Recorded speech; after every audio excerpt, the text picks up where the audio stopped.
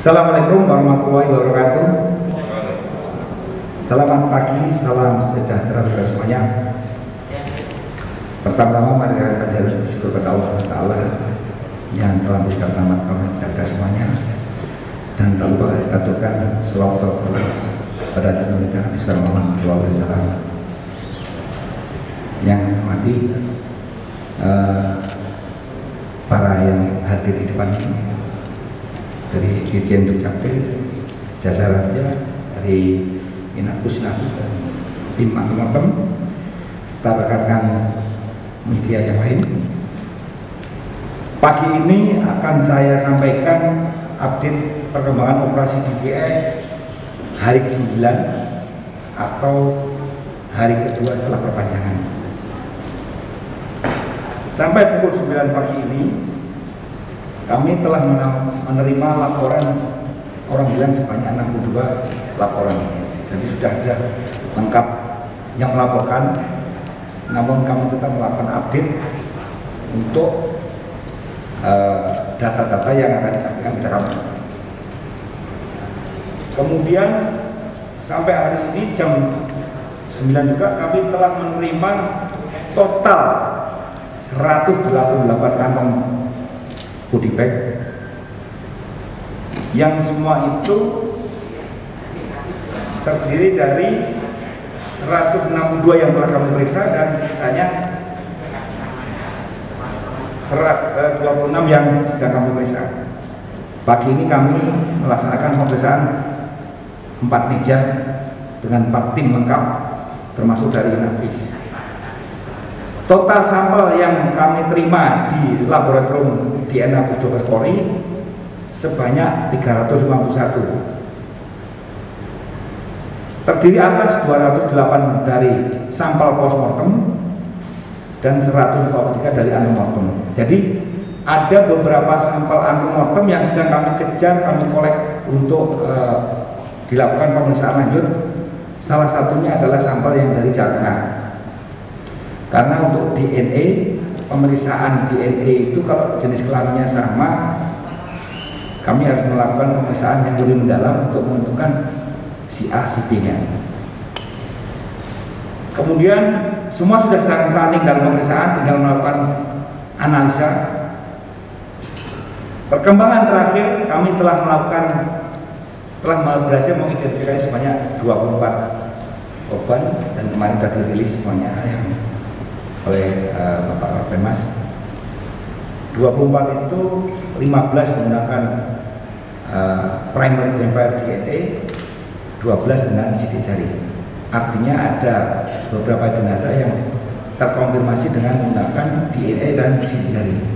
Itulah uh, uh, metode identifier yang primer. Satu aja sudah cukup, ternyata ini ada dua-duanya. Jadi semakin menguatkan untuk uh, proses pencocokan.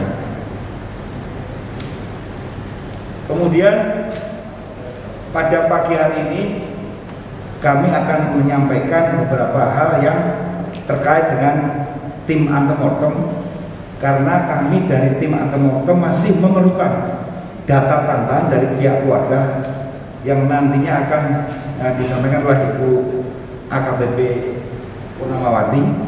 Tapi sebelumnya kami akan memberikan kesempatan kepada Bapak Prof. Sulvan untuk menyampaikan hal-hal yang terkait dengan uh, Jupapil yang berkaitan dengan operasi DVI ini. Monggo, Pak Dr. Heri dan rekan-rekan dari Pusing Hafiz Rumkit yang saya hormati dari Mas Tri, Jasa rekan-rekan media semuanya. Saya ingin mengupdate perkembangan penerbitan dokumen kependudukan dari 24 jenazah yang sudah teridentifikasi. Dari 24 jenazah, 15 dokumen sudah selesai. Kemudian 9 dokumen yang dari ditemukan kemarin jenazah yang 7 pagi hari ini sudah diproses dan insya Allah siang hari ini selesai. Kemudian penyerahannya nanti menunggu kesepakatan dengan keluarga yang 13 yang eh, 13 13 dokumen sudah selesai semua, sudah diserahkan.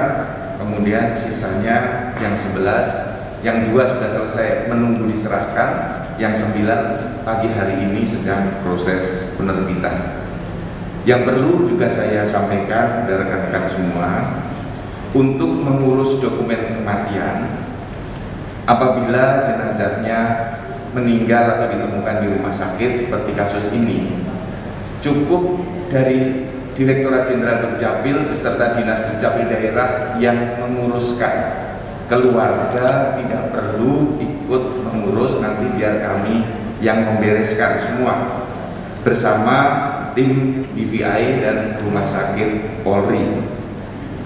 Bagi masyarakat yang ingin mendapatkan informasi bahwa juga kalau meninggal di rumah sakit tidak perlu pengantar RT dan RW proses dan prosedurnya sudah dimudahkan, sudah dipotong sehingga menjadi lebih ringkas.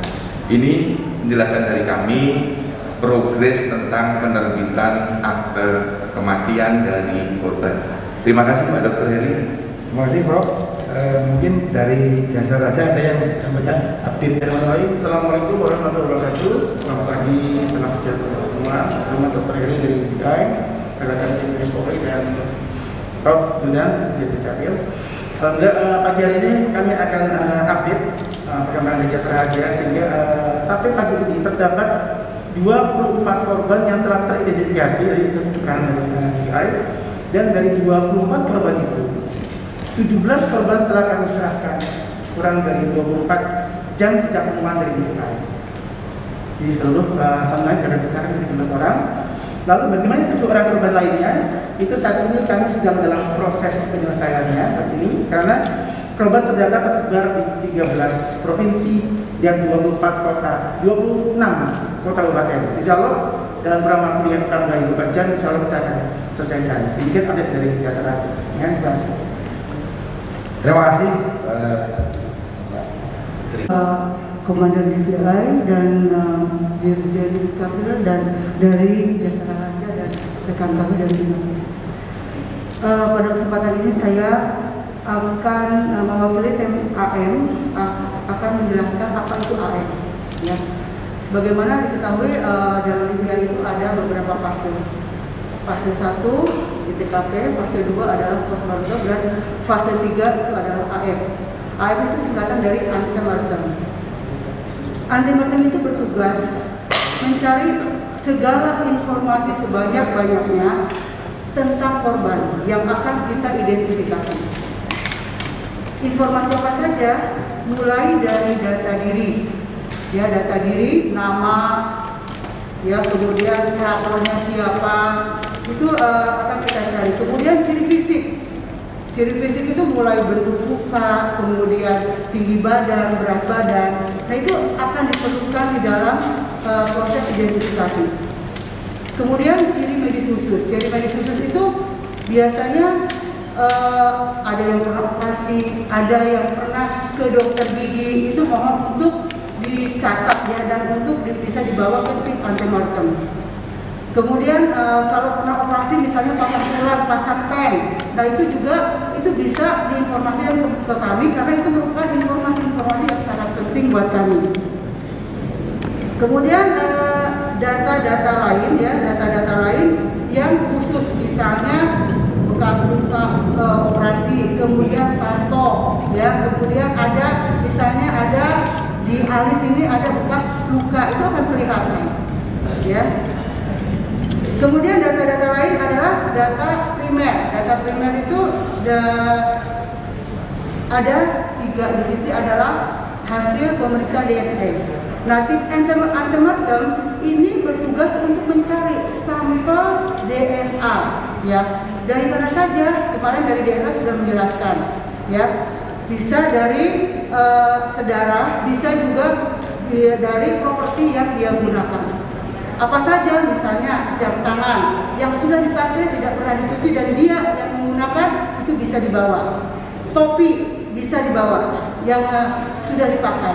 Kemudian apa pun yang digunakan oleh korban terakhir atau belum dicuci itu bisa dibawa untuk sampel DNA. Ya. Kemudian uh, tadi gigi ya, gigi. Gigi informasi gigi juga sangat penting. Jadi ada uh, ada catatan dokter gigi atau minimal foto ketawa, foto tersenyum itu juga diperlukan. Kemudian uh, sidik jari ya. Sidik jari ini data primer yang kita sidik jari itu bisa dikumpulkan dari kalau pernah ngurus SKCK ya bisa diambil dari situ. Kalau misalnya data kependudukan itu juga bisa dari KTP atau dari uh, ijazah ya ijazah atau yang ada sidik jarinya. Nah itu juga bisa diinformasikan ke kami sebagai data yang sangat baik dan sangat diperlukan untuk tim AM dan dalam proses identifikasi ini. Ya jadi itu tiga data primer. Data yang dicari selain data primer adalah data sekunder data sekunder itu apa? Salah satunya tadi adalah ciri fisik. Yang ke yang kedua adalah properti, ya. Properti yang digunakan. Sebelum dia uh, korban uh, ini berangkat, sebaiknya pelapor atau yang melaporkan mengerti tentang apa yang digunakan. Misalnya baju yang dipakai, ya, sepatu yang dipakai, ya akan ditanyakan ukurannya berapa, ikat pinggang yang digunakan, ya tas yang dipakai, jam yang dipakai, anting-anting yang dipakai, cincin yang dipakai dan semua yang digunakan. Kalau bisa ada fotonya, ya detail, e, misalnya cincin bentuknya seperti e, seperti apa bulat, ada matanya, bentuk e, matanya besar atau kecil. Yang paling enak adalah fotonya ada, ya. Nah itu uh, tim uh, apa namanya untuk data sekunder ya. Nah sekarang setelah kita mengetahui data primer dan sekunder, sekarang siapa saja sih timnya ya? Tentunya teman-teman harus tahu ya timnya apa saja. Yang pertama adalah ada tim pendaftaran. Di sana akan mendaftar orang-orang yang datang ya untuk melapor kehilangan keluarganya. Yang kedua setelah dilakukan uh, pendaftaran, kita karena sekarang dalam era pandemi, nah akan diperiksa dulu dengan swab antigen. Setelah aman, baru kita akan lakukan pendataan lebih dalam, yaitu dengan teknik wawancara dan sebagainya. Nah, setelah data didapat, kita akan mengadakan pendalaman data. Ya, jadi ada tim pendalaman data. Ya, kemudian ada tim quality control ya supaya data-data ini betul-betul valid. Kemudian ada tim humas ya tim humas. Jadi uh, ada yang apa namanya berhubungan dengan data-data uh, dari luar itu tim humas yang akan bekerja. Kemudian ada tim expert ya tim expert. Ini uh, ada beberapa tim dari dari tim DNA sendiri, tim forensik gigi, tim sidik jari yang uh, di sebelah saya ini dari Nafis ya. Ini adalah tim sidik jari. Kemudian tim forensik uh, klinik yang lain kemudian ada dari Dukcapil ya dan uh, ada dari uh, lintas sektoral ya.